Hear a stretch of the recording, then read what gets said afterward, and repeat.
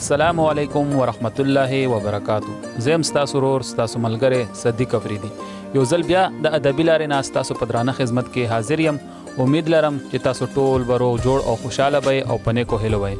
مینوالو د نور کله پشان نن بیا راغلی یو ټنډو پل مسروزو کلی ته په پروګرام کې راستر ناس ملګری ګل فراز فراز صاحب ناس ته غختلم چې شیرونه تی ریکارډ کو او تاسو ته ډالې کو چې تاسو ته خوان او مزه واخلئ ګلپراز پراز صاحب په پروګرام کې ارته ډیره مینا او هر کله وایو السلام علیکم ډیره ډیره مننه مو کوم صدیقی صاحب او جاهد تاسو یو جهان مننه چې موږ له دومره لنډ تا وخت کې مو کارا کا یو جهان مننه پراز پراز صاحب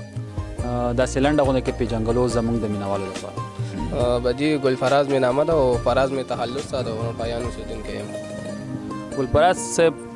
شعرونه را سره شریک کا زمونږ مینوالو لپاره ولې نه دي غزل نه مخکې دوه شعر دي چې د دنیا په بزرګانو پتنګ شوی یم چې د دنیا په بزرګانو پتنګ شوی یم پس له هغې په دواګانو کې رنګ شوی یم او رنګ مې تکتور لکه د سکور شونډې مې تراړې تراړې رنګ مې تکتور لکه د سکور شونډې مې تراړې تراړې ستا محبت کې یاره زه پرا زړنګ شوی یم او غزل ده مړه د ظلم انتها دې وکړه مړه د ظلم انتها دې وکړه ظالم سړیا ناروا دې وکړه تا کې ادب هډو د سره نشته تا کې ادب هډو د سره نشته مشر سړی پورې خندا دې وکړه او چې و مدام په جهالت کې پراته چې و مدام په جهالت کې پراته محبوب راغلی او رڼا دې وکړه او زړه مې لتانه اشنا ډیر خفه دی زړه مې له تانه اشنا ډېر خفه دی په پاکه مینه کې چې غلا دې وکړه او پرون ولاړ وې د رقیب په څنګ کې پرون ولاړ وې د رقیب په څنګ کې زما په سر ښکاري سودا دې وکړه او شعر ده نور به دا ستا په درشل نه درځم نور به دا ستا په درشل نه درځم بې وفا یاره چې جفا دې وکړه او شعر ده شک به د سره زما نه وي پته شک به د سره زما نه وي پته د زړه خبره کو صفا دې وکړه او غزل مکتره فراز چې تا پسې پاګل دی داسې ملیار صاحب فراز چې تا پسې پاګل دی داسې په فراز څرنګه بلا دې وکړه فراز صاحب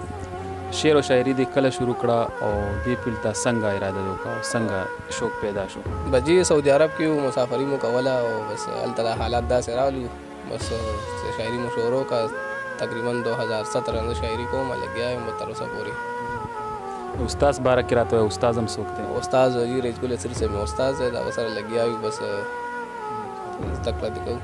یو غزل نیم را سره بل شریک کا بیا مینوالو نه اجازه غواړو صحیح دی جی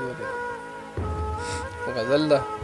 خپل انامو په دې خاوره کې دفن کړی کنه خپل انامو په دې خاوره کې دفن کړی کنه اے پښتون قوم وخته د پاره بس امن کړی کنه او دومره خادای نه دي چې څومره جنازې دي دلته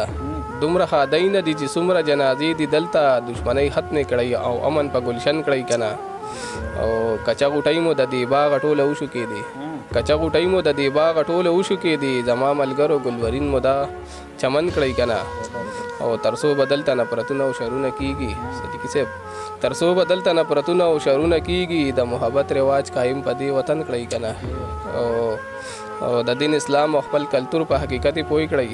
د دین اسلام او خپل کلچر په حقیقت پوي کوي غني تباب شي لګ پویا مزامن کړی کنه او مقتره فراز فراز دلته کې د بل په غم خوشحال دي خلک فراز دلته کې د بل په غم خوشحال دي خلک دا کلک کلک زړونه مو د بل په غم غمجن کړئ کنه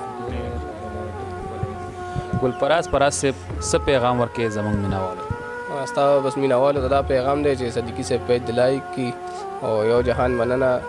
ډیره ډیره مهرباني ملګرو ګل فراز فراز صیب تاسو واوریدو امید لرم چې تاسو به تخوان مزی اخیشتی وی تر بله خپرونه پوری ماته راکړی اجازت په لوی الله م سپارم وسلام.